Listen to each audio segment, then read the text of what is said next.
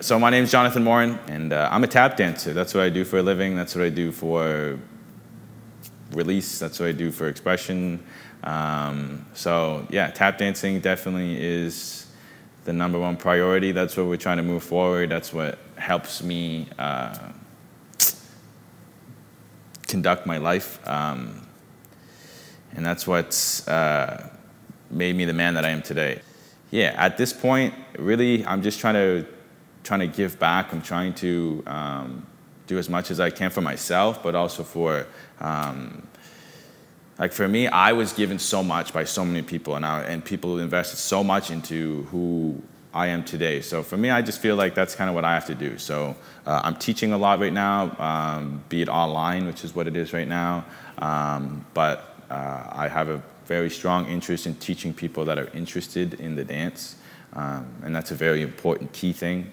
Um, but uh, you know, at the end of the day, yeah, this is this is what I want to be doing. So I'm happy that uh, I'm happy that I'm back here. this feels like a this feels like a a return for me.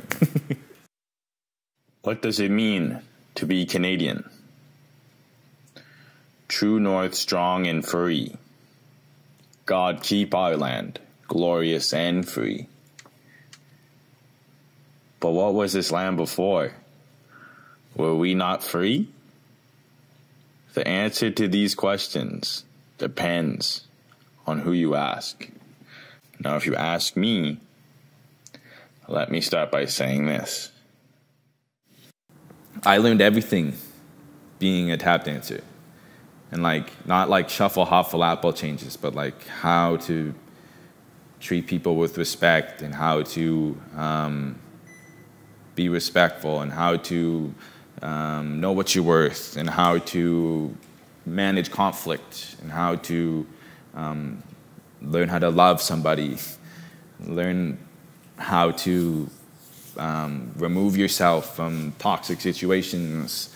I learned how to, you know, just be the man who I am today. And so I can't be more thankful for or grateful for um, the dance that we we are able to do. And with that being said, like the the men and the women that did everything that um,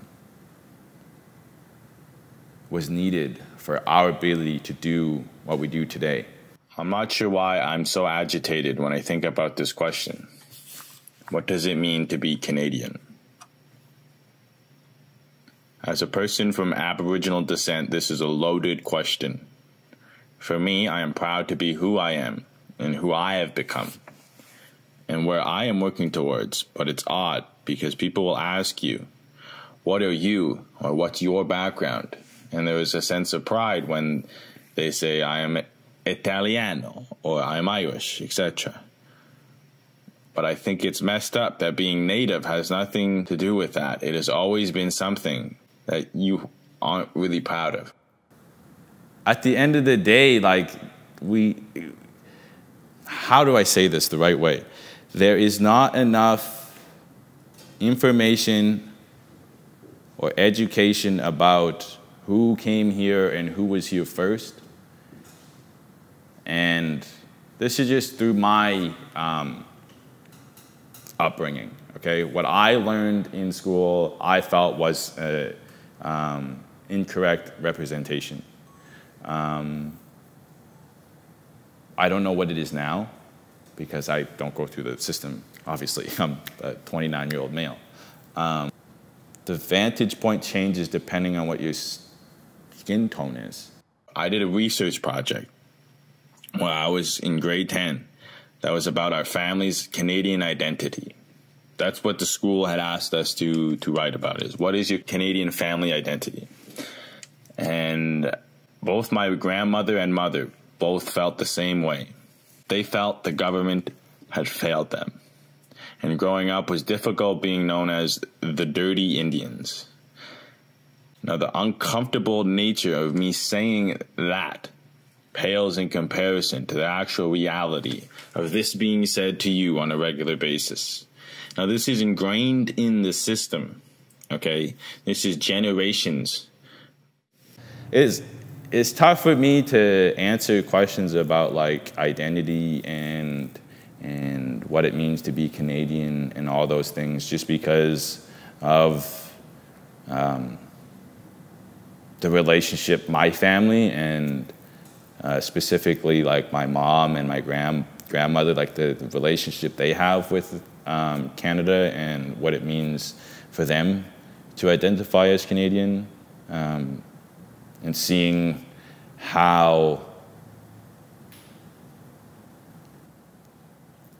like I, I, I don't think I've ever heard them say they're proud to be Canadian. You know what I mean?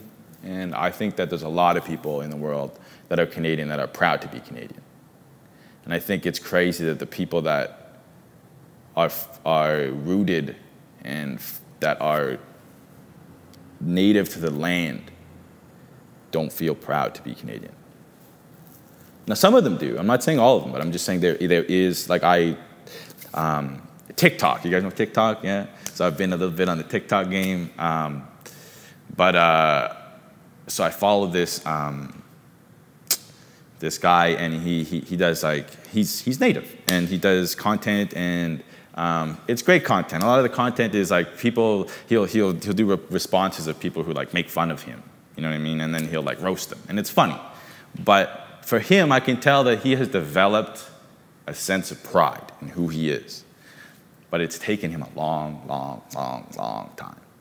And I don't know if um, everybody needs to go through that same thing to feel that same sense of pride.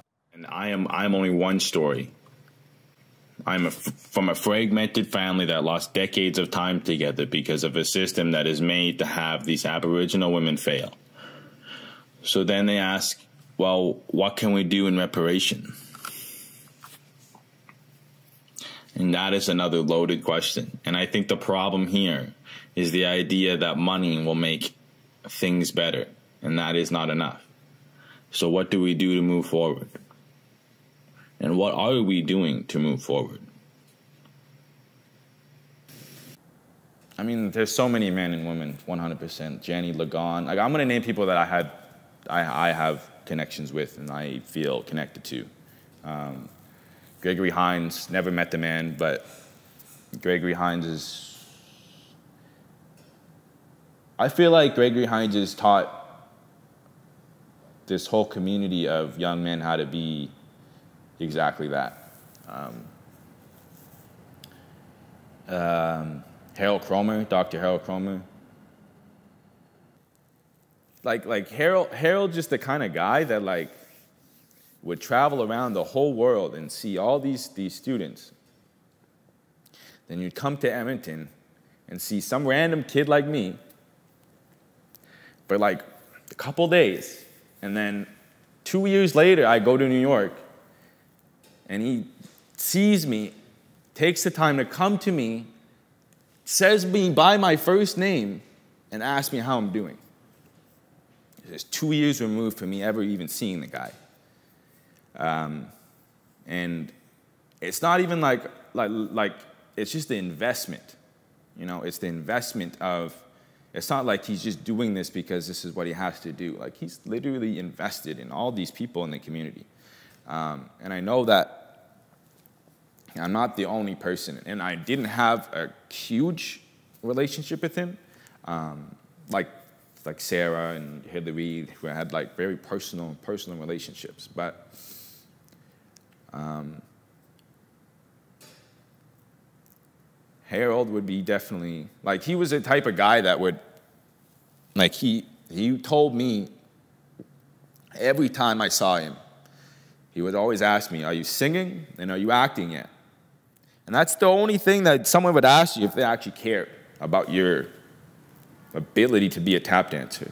Because at the end of the day, uh, like these men and, and these women, they, they, they, they, they want us to be successful and they understand that it's very tough to do this um, if all you want to do is be a performing tap dancer and you have to be able to do other things. And um, so he was the first person that really like actually started asking me these questions and there's so many masters of the dance that we can we can look up to and, and, and name, but it's just it's it's tough to um, it's tough to pinpoint. But for me, in in my journey, I would say like Harold's probably the biggest influence in my dancing, and if there's anyone that I would like to um, think about or dance for, it would probably be him.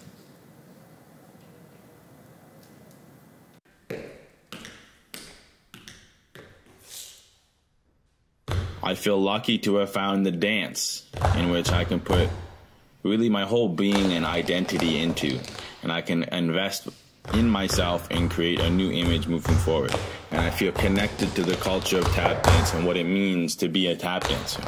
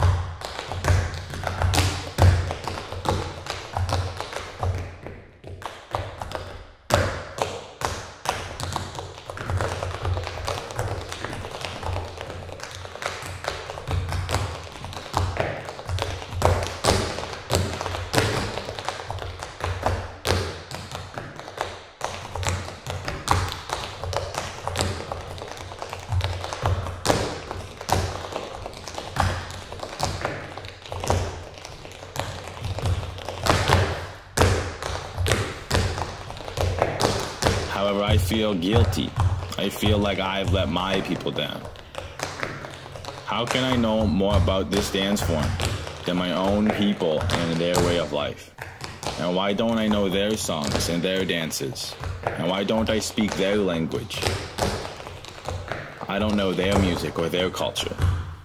So here we are, as a Canadian and 29 year old male, still trying to find myself and figure out what it means to be Canadian.